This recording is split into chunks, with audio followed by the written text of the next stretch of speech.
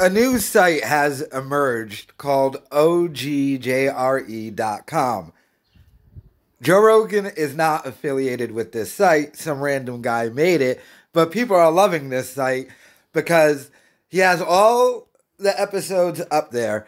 No video right now, just audio. But the main feature is like if you click on his Demi Lovato video, he has the audio, but now there is a comment section. So people can now comment under all the videos. And you sign up, you just give your email, your username, and put a password. Easy sign up.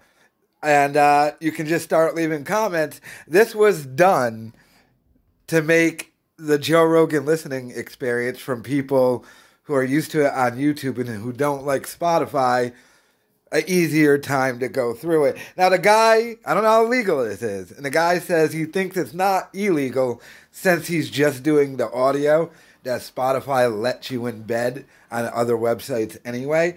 He might move into the video aspect. I don't know if he is going to, but if you wanted to listen to Joe Rogan, and he has all the episodes up there, like the Alex Jones with Tim Dillon ones and stuff, and you want to be, a, be able to have a comment section, just go to ogjre.com.